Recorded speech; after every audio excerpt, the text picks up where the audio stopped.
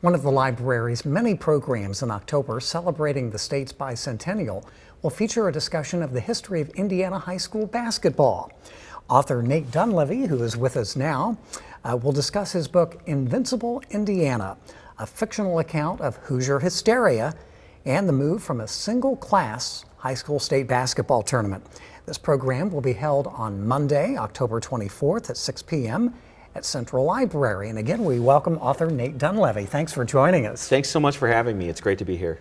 First of all, give us a quick overview of the book, Invincible sure. Indiana, which is set in the mid 90s, correct? It is. It's set in the mid 90s in uh, kind of north central Indiana in a fictional town called Invincible, Indiana.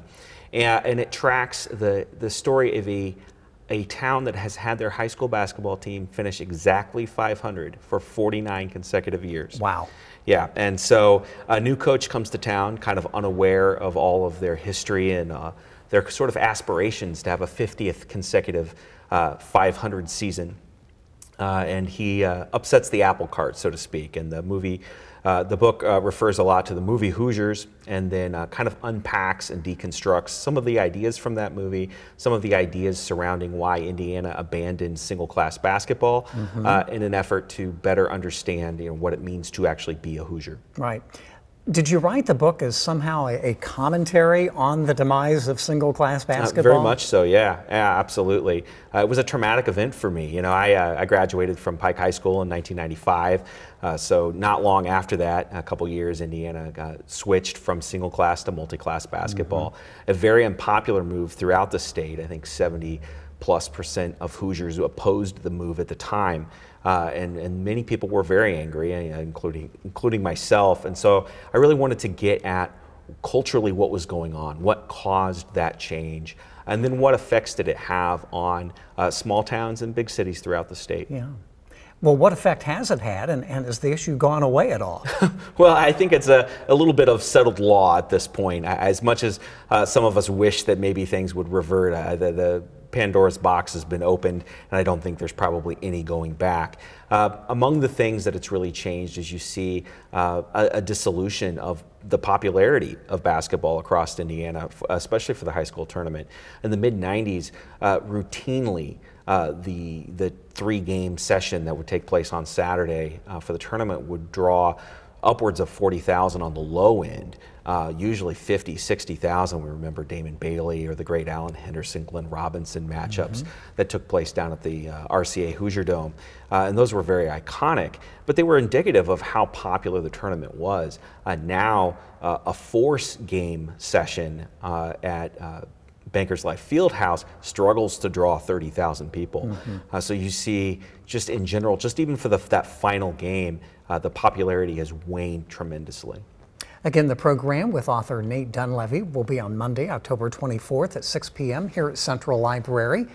Nate, tell us about uh, your presentation that evening sure. and what you hope people will gain from the program. Absolutely. Well, one of the things that I really like to kind of unpack and talk a lot about is what is our identity as Hoosiers. You know, when that movie came out in 1986, the movie Hoosiers, it really kind of crystallized and, and caused us to recognize a certain kind of mythology around basketball about what it meant to be a Hoosier.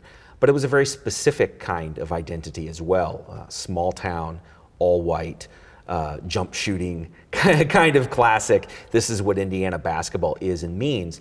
And that kind of dates back to the 1950s with the famous Milan team. Mm-hmm. Uh, so I like to kind of talk about Milan. I like to talk about the Crispus Attucks team as well, and kind of look at you know what did Hoosiers get right and what did it cause us to overlook right. about our identity as Hoosiers talking about a, an iconic jump shooting player from Indiana. Yes. You brought a uh, sure. memorabilia, a T-shirt uh, yeah. signed by Steve Alford. Most people know who he was. Yeah, absolutely. It seems strange to me that you'd almost even need to explain this anymore, but uh, this was a very special moment for me. You know, the 87 uh, championship team, I was, I was 10, 11 years old when they were playing. And, and Steve Alford was to me what basketball was. And I think that that's uh, true for a lot of Hoosiers. You know, this is a guy that was coach's son, you know, good looking, perfect hair all the time, uh, and just an amazingly pure uh, shooter. And uh, that uh, that whole idea of this is what basketball is. Steve Alford was that. so for me, this kind of symbolizes growing up what I thought about basketball. He was Jimmy Chitwood in real life, That's and true. Uh, so I- it always has meant something to me to have this. What any future books you have uh, on the horizon? Uh, yeah, absolutely. I'm working on uh, revising a book on the history of the Indianapolis Colts Okay. uh, that came out uh, a few years ago called Blue Blood Tales of Glory of the Indianapolis Colts. Uh, I issued that originally in 2010. Uh, so obviously, a few years have passed, uh, some some significant water under the bridge. Uh, so I'm working on a revision to that to kind of uh, close the book on the Peyton Manning era. So that'll be coming out uh, here in a few months.